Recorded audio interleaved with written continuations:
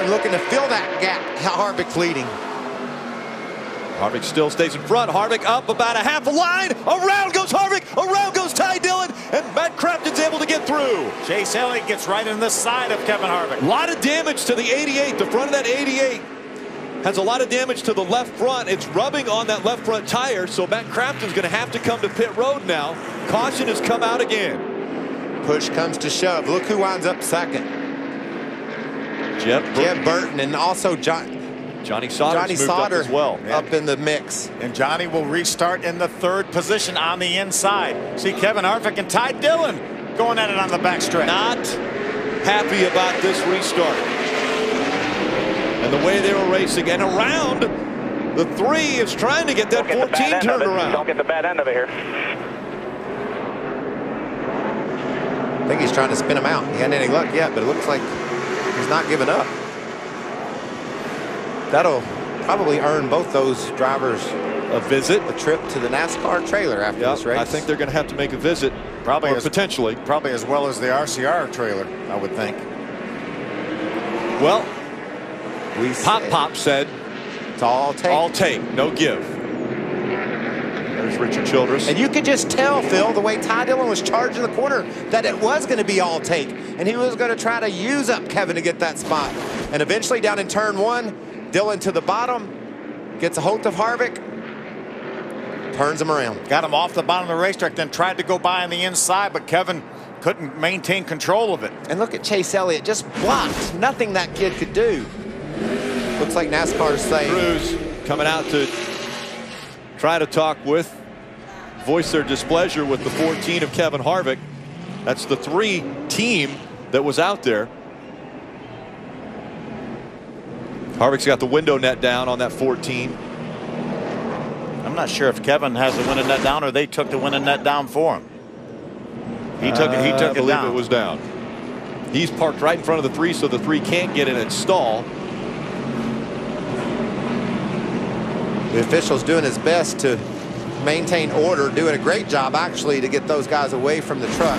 And once again, the hard part to, to comprehend is that's a 3,400 pound truck that these guys are messing with right now. And into the garage goes the 14 of Harvick. He'll call it a day. The 88 of Matt Crafton. A lot of damage to the left front of that truck. Got caught up in this incident. They pull the fender away from the left front. They'll send him back out on the track. They want to keep him on the lead lap. Harvick's out of the truck. There's a lot of crew guys scrambling to get to where Kevin's at. Most of them are in the NTS uniforms to make sure they They're going to stand guard. stand around their driver. And that won't work. No, that's Yep. So they will congregate in the infield area of Martinsville. Crew members coming together, not only from the three team of Ty Dillon, but also the 14 of Kevin Harvick. The three of Ty Dillon still trying to complete this race. His team's going to work on that. And right now, Bob Dillner's caught up with Kevin Harvick. Kevin Harvick, uh, interesting incident. What happened?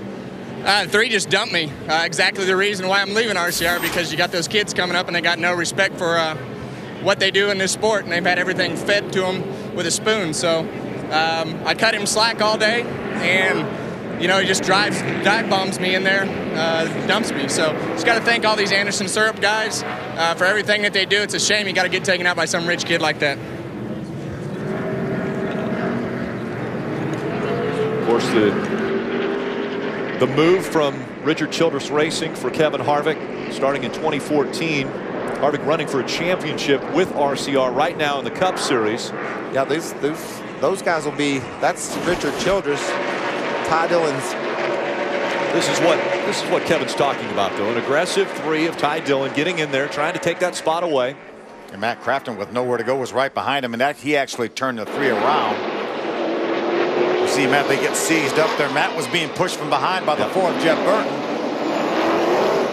That's what we've talked. Here's from Kevin Harvick's on board. I think that first bump's what you know one thing, and then just turning them after that is probably why Kevin was was so upset. But we saw that angle, Phil. We talked about it. And But see, he had some help, see, too. Yeah, the hard part there is that they won't understand, or at least Kevin Harvick's not going to understand, is the three was being pushed by the 88 because everybody was piling up behind him. But how much of the damage